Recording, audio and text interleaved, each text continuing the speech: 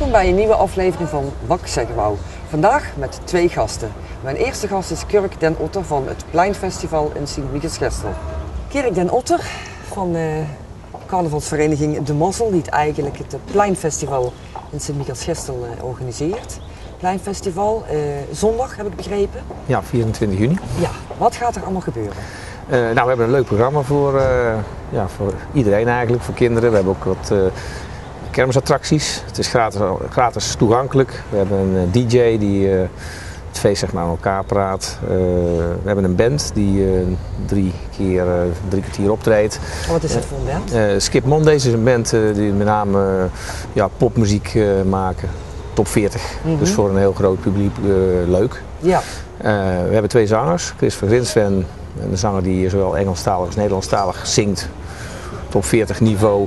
En eh, we hebben Henk Bernard, een beetje bekend denk ik in het Nederlandstalig. Hij is wel toch wel, eh, ja, hij is wat bekender dan eh, gemiddeld de meeste zangers in de omgeving. En die, die sluit het af.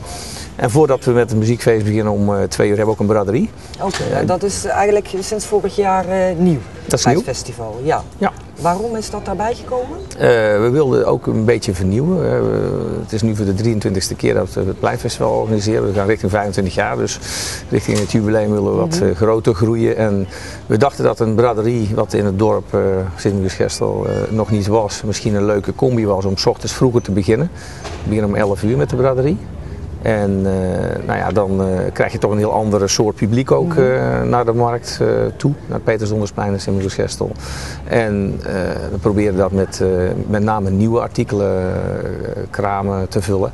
Dus het is geen rommelmarkt Het is geen dus. rommelmarkt, Ja, nee. ja, nee. dus echt toch wel proberen om ook met standhouders die zeg maar, ja, nieuwe producten aanbieden. En ja, ook daar een leuke, leuke braderie op te zetten. Vorig jaar de eerste keer hadden we 40 kramen. Dit jaar denk ik dat we toch wel eh, tussen de 50 60 uitkomen. Eh, Ah, er zijn nog steeds... Blijkbaar een succes. Ja, dus nou ja, in ieder geval, Ja, eh, er- zit groei in. We krijgen nog, eh, er zijn nog kramen verkrijgbaar overigens, maar eh, we krijgen ook nu iedere dag eh, inschrijvingen. Dat heeft ook te maken dat eh, ja, standhouders ook vaak afwachten hoe het weer is. Hè. Dus als het weer slecht is, dan is het natuurlijk niet zo prettig eh, om eh, te gaan staan. Dus eh, nou ja, eh, we proberen dat ieder jaar uit te breiden, die, eh, die braderie. En eh, dan Mhm. Kun je dan dat... op het laatste moment nog een, een stand huren? Zeg Ja, maar? het zou nou Als nog ik kunnen, vrijdag ja. kom, dan, dan kan het nog? Ja, dat ligt eraan, want we proberen natuurlijk wel, we hebben een maximum voor dit jaar eh, begroot. Als het vol is, is het vol. En Mhm. we proberen ook rekening te houden dat als bijvoorbeeld iemand komt eh, met t-shirts en we hebben al een kraam met t-shirts, willen we niet eh, te veel kramen met t-shirts. Dat is voor het publiek Ja, ja. niet leuk, maar is ook voor de standhouder niet, eh, niet prettig. Dus we proberen ook rekening mee te houden. ja, dus gewoon een heel variabel aanbod moet, moet er dan wel zijn. Ja, dat, dat, is de, dat is het idee. mhm. En proberen natuurlijk ook de, de lokale ondernemers eh, bij te betrekken. Ja. eh, Om dat eh, groter te laten groeien de komende jaren. En daarmee ook het ochtendprogramma over te laten lopen richting de middag. Waar Mhm. eh, het muziekfeest plaatsvindt. Ja. Ja. Wat is een beetje de doelgroep? Is het echt puur op mensen uit het dorp of ook mensen die van, van daar omheen komen? Ja, dat, dat is natuurlijk, eh, het is meer een dagje uit. Hè, voor mensen die zeggen, nou, we, we hebben niks te doen, we, we gaan er eens even langs. Braderie is natuurlijk altijd een beetje, je krijgt een bepaald publiek die eh, ja, met de fiets of eh, zeggen, nou, we, we willen daar even langs en we gaan eens kijken wat er is. Het verhaal van het muziekfeest is natuurlijk dat, ja, voor ons, we hebben het in het verleden altijd georganiseerd in augustus. Dat was zeg maar net voordat de scholen begonnen. Ja, ja. Nu is het eigenlijk het verhaal dat we het zeg maar net op het eind van het schooljaar doen. Mhm.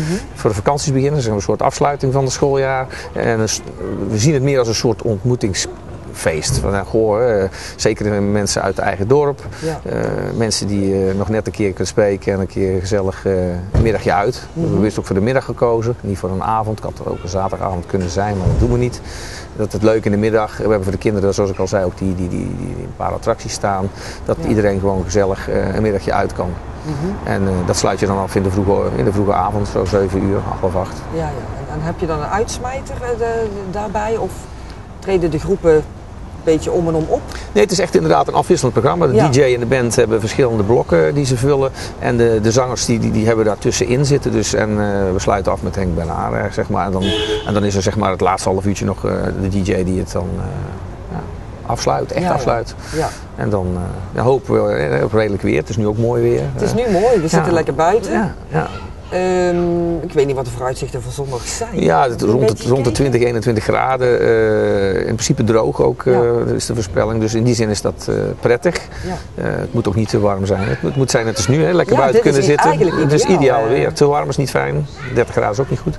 Dus maar ja, we moeten het doen met het weer wat, wat er is. We hopen ook dat er ja, veel mensen gaan komen. En dat het gewoon een gezellige middag is. en de ochtend voor de braderie ook voor iedereen. Dus even kort samengevat. Zondag 24 juni. Ja. Sint-Michiels-Gestel, Petrus Dondersplein, Dondersplein, Ja. Adrianusplein. Bij de markt zeg maar is Ja, dat dan. bij de grote toren. Bij hè. die grote toren. Braderie van 11 tot 4 ongeveer. Ja. En dan het muziekfeest. Begint om twee. 2 uur tot een uur of 7, 8. Ja. Oké. Ik wens je veel succes Dankjewel. en goed weer. Ja, dat is het allerbelangrijkste. Oké, Dankjewel. Graag gedaan. Mijn tweede gast is Aukje van Heeswijk, die sinds een aantal maanden de site altijdietstedoen.nl heeft opgezet. En daar gaan we even over praten. Aukje van Heeswijk, welkom. Dank je. Ehm, nieuwe site, altijdietstedoen.nl. Sinds wanneer is die site eh, zeg maar in de lucht? Ehm, sinds half februari is hij echt eh, werkend. Eh, sinds december was het al wel mogelijk voor mensen om zich eh, aan te melden, zodat we dus ook al met een bepaalde groepsroute konden starten. Maar Ja. sinds half februari zijn de eerste evenementen georganiseerd. Oké, ja, want wat is het voor een site? Wat, eh, wat is de gedachte achter de site? Het is een eh, evenementenwebsite en de gedachte is dat mensen gezamenlijk evenementen gaan ondernemen. Eh, het principe is dat iemand een evenement aanmaakt op de website. Eh, bijvoorbeeld eh avondje naar de opera op de parade in de Dat bos. kunnen de mensen dus zelf doen, dat aanmaken? Dat doen de mensen Ja. zelf. Dan kunnen ze vervolgens aangeven met hoeveel mensen ze willen gaan en Mhm. met welke groepsgrootte. Bijvoorbeeld van vier tot zes personen. Ja. En de leeftijdscategorie ook aangeven. Want het is 18 plus. Dus ja, er zit ook geen beperking aan op leeftijd. Dus Mhm. we hebben de oudste deelnemer is nu 75. Oké, Dus ja, dat ja. eh, is wel heel erg leuk. En eh, vervolgens wordt het dan op de website geplaatst. En dan kunnen andere mensen kijken van nou, hè, dat lijkt me leuk. En die kunnen zich aanmelden. Oké, en, En dan- en zo breng je de mensen bij elkaar die ergens naartoe willen waar ze, waar ze eigenlijk geen andere mensen in instantie voor hebben om naartoe te gaan met dezelfde interesse of alleen zijn. eh, Ja, dat is het principe. Ehm, het is niet zo dat het een single website is, Mhm. want die heb je ook al een aantal en ik wilde toch breder trekken. Want iedereen, ook al ben je getrouwd, dan wil je wel eens ergens naartoe waar niet iedereen eh, zin in heeft. Ja, En eh, ja, dus dan is het ook mogelijk om deel te nemen, want we hebben ook gewoon mensen die getrouwd zijn en Mhm. kinderen hebben, maar die ook een keer mee naar een borrel gaan of eh, een wandeltocht doen. ja, want je hebt niet altijd dezelfde interesse natuurlijk. Als ik van opera hou en mijn man helemaal niet, Ja, dan zou je of nooit kunnen gaan of je moet hem altijd meesleuren. Ja, Dat- ja. ja maar dat is ook wel leuk. Want op een gegeven moment meldde ook iemand aan en die zei ook van... ja, mijn man heeft het allemaal wel voor het gezien. En die gaat wel mee, maar die vindt het ook niet altijd leuk. En dan is het ook gewoon een uitkomst dat je op deze manier eh, dan toch die Mhm. dingen kunt ondernemen. En zeker ook omdat je met mensen gaat die ook dezelfde interesse hebben. Dan is er ook automatisch een klik en is het ook gewoon heel erg gezellig. ja. Je registreert je, dan maak je een profiel aan.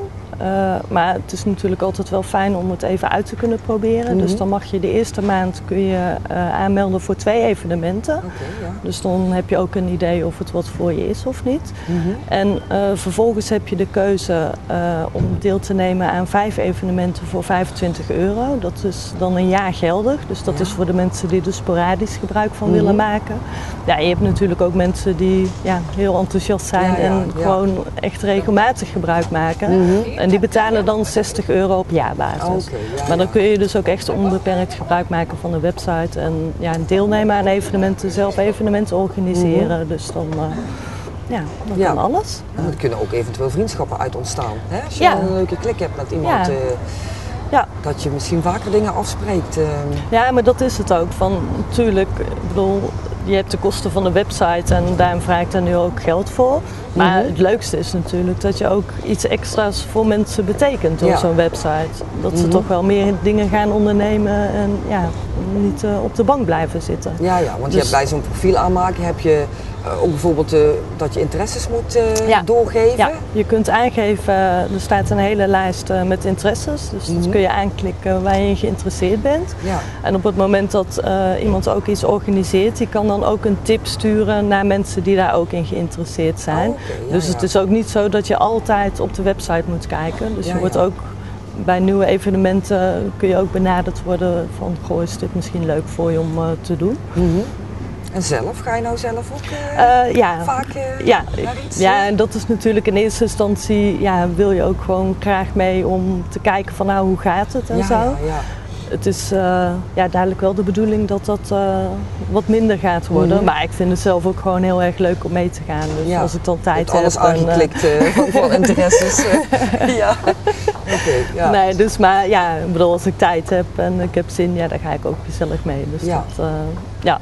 Nou, ik wens je heel veel succes met, met de site. Altijd iets te doen.nl. ja, klopt En helemaal. eh, nou ja, wie weet in de toekomst dat we jou eh, nog een keer zien. nou, ja? dankjewel. Oké, jij bedankt. ja. Dit was wat ik zeggen wou voor deze week. Volgende week zijn we er weer. En als u nog iets te zeggen, te melden, te vertellen heeft, dan kan dat. Stuur dan een berichtje naar redactie.tv73.tv en wellicht zien we u volgende week. Tot dan!